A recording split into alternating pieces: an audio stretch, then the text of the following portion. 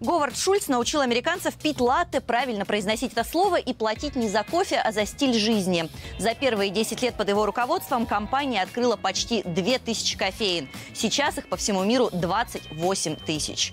И даже в Италии наконец-то перестали морщить нос. Первый Starbucks откроется там в сентябре.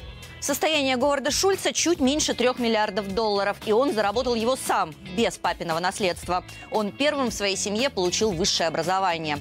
А в 82-м стал директором по маркетингу Старбакса, тогда еще небольшой компании по продаже кофе. Все изменилось, когда Шульц впервые поехал в Италию и обнаружил, что в Милане кофейни прямо на каждом шагу. Он решил начать продвигать в Америке культуру потребления кофе и через несколько лет выкупил Starbucks у его основателей. И вот теперь, спустя 30 лет, окончательно решил покинуть компанию.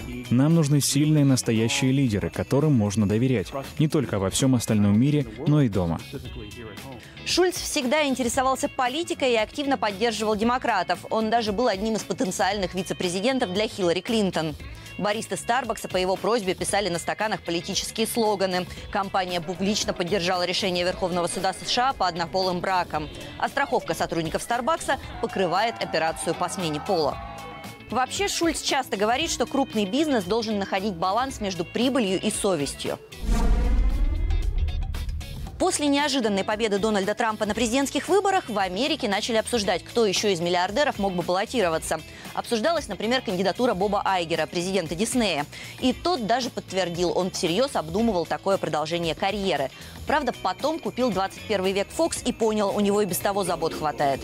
Или вот Марк Кьюбан, владелец баскетбольной команды Dallas Mavericks.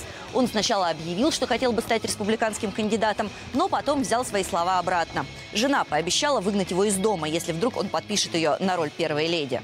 И вот Говард Шульц. Во-первых, он недоволен политикой Трампа. В прошлом году в сеть попало видео с собрания сотрудников Старбакса. На нем Шульц говорит, что нынешний президент каждый день ввергает страну в хаос. После решения Трампа запретить въезд в США беженцам из некоторых стран, Шульц пообещал нанять 10 тысяч беженцев.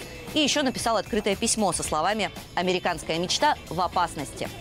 И вот, отвечая на вопрос репортера о том, будет ли он баллотироваться в президенты, Шульц ответил, он очень обеспокоен тем, что происходит в стране, и пока думает, какую роль он должен сыграть. И у него есть время подумать. Обычно политики заявляют о своем участии в выборах года за полтора до дня голосования, а оно назначено на 3 ноября 2020 года.